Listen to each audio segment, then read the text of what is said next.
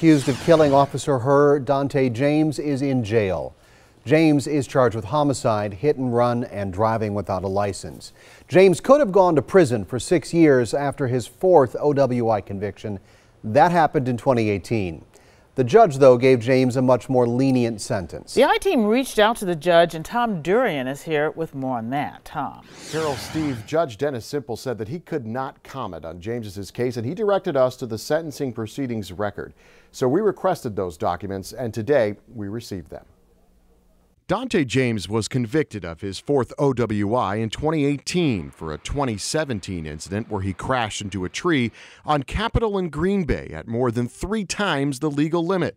That spot, just a few miles from last week's fatal crash that took the life of Officer Kuo Her. The 2017 crash left James in a coma for more than five weeks. When he was out, he entered a treatment program. In court, he pled no contest, essentially entering a guilty plea. Prosecutors recommended prison time. He did try. I think he was serious. I think he was sincere and I think it was right to give him the chance. But it was the treatment that kept him from a long prison sentence. Joseph Ellwanger was one of two people who wrote letters on behalf of Dante James. Ellwanger is a former pastor at James's church and believed continued treatment was the answer.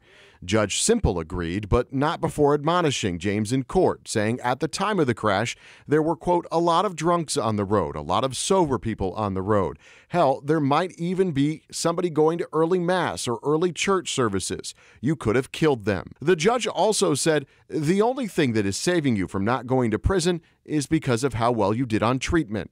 So instead, James was sentenced to one year in jail. His former pastor agreed with that sentence. If you were asked to testify or write a letter again, would you do it again? Well, I'm wrestling with it because I know that deep down in my heart of hearts that uh, we are not going to incarcerate our way out of the addiction uh, and drug issues that our society is plagued with. So in that 2017 case, Judge Cimpl gave James a stayed sentence of two years in prison, meaning he wouldn't have to serve it if he stayed out of trouble. Now, James did have to go to jail for a year with the ability to leave for work or treatment. The judge also revoked his driver's license, which remained the case when last week's fatal crash happened. In the newsroom, Tom Durian, today's TMJ4. Steve? Tough choices for the court there. Tom Durian, thank you.